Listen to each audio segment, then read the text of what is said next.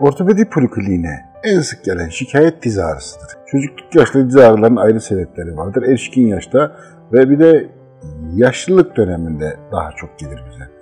Diz ağrılarının en sık sebebi çocuklarda genelde artrit, inflamasyon veya septik artrit gibi durumlardır.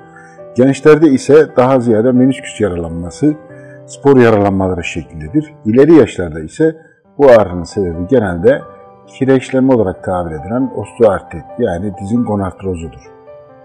Bunun tedavisi için de çok çeşitli alternatiflerimiz vardır. Erken dönemlerde hastalarımıza genelde ilaç, egzersiz, soğuk uygulama öneririz. Ancak ileri yaşlarda bunlara daha farklı alternatifler üretiriz. Daha ileri dönemlerde ise yapılması gereken şey artık ameliyatlardır. Yani diz protezi gibi radikal çözümlerdir.